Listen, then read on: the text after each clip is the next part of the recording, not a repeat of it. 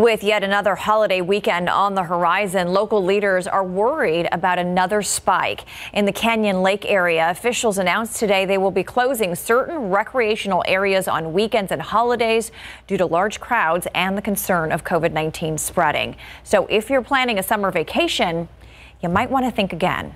The night team's Japhanie Gray reports.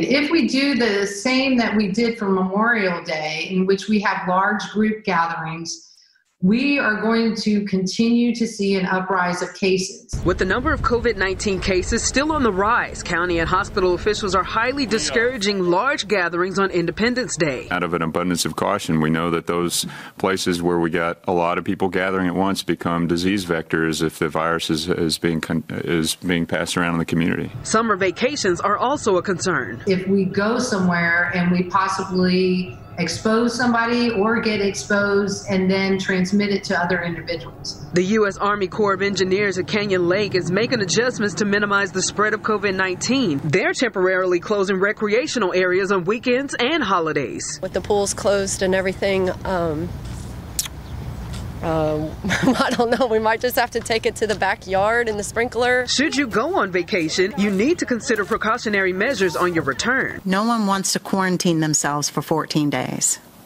It's hard, but that's what it takes. So that they don't expose anybody else.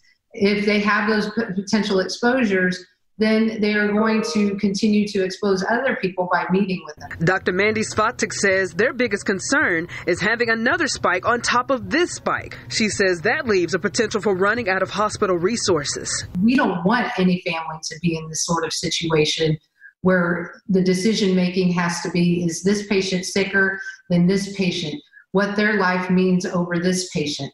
We want an environment that we can provide care to all people. Japhanie Gray, KSAT 12 News. San Marcos River parks are also set to close at 8 p.m. this Thursday due to the surge in cases. The city's dog parks, skate parks, and natural areas will remain open.